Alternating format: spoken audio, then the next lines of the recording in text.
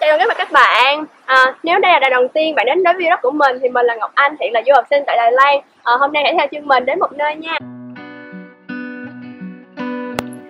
Chỗ mình đang đứng là công viên quốc gia ừ, dạng miệng sang, núi Dương Minh là một trong những công viên chính nằm ở giữa Đài Bắc, Đài Loan. Ừ, mình có nghe một nói một câu như thế này, không có lý do gì khi đôi chân bạn đang khỏe mà lại phải ngồi im. Ừ, nên việc đi đến những nơi mới, biết được nhiều thứ thú vị cũng giúp bạn tươi trẻ hơn mỗi ngày đó. Cẩm tú cầu hay còn được gọi là hoa dương tử thường nở rộ vào đầu tháng 5 cho đến cuối tháng 6. À, đến đây nhất định là bạn phải wow vì vẻ đẹp lãng mạn của hoa, sự chuyển biến màu sắc giữa các loài hoa cũng làm mình mê mẩn.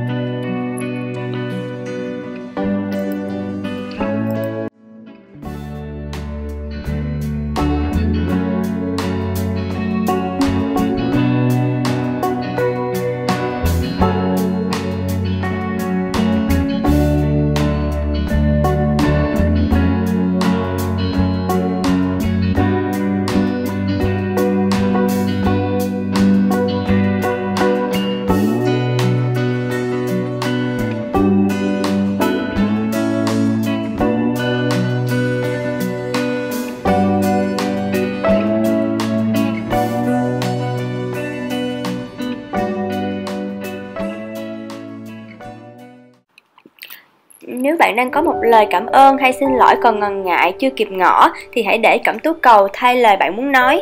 Bởi lẽ, hoa cẩm tú cầu còn có ý nghĩa tượng trưng cho lòng biết ơn và những cảm xúc chân thành.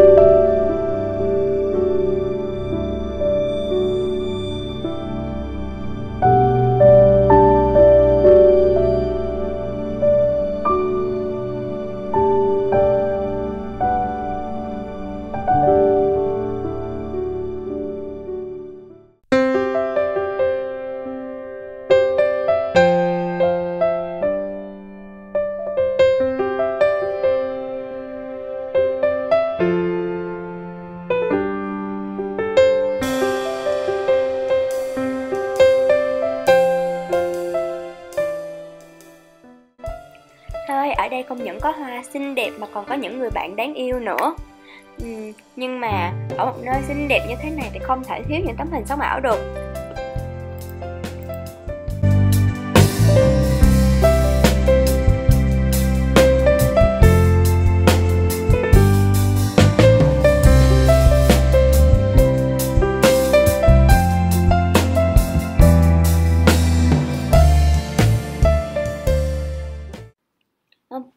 Giờ thì trời cũng sắp mưa rồi, mình cũng thấm mệt rồi. À, Nên là chắc mình sẽ kết thúc video clip tại đây. Nếu các bạn thích video này thì hãy like, share và subscribe à, Để chúng ta có thể đi cùng nhau trên những chuyến đi khác nha. Tạm biệt.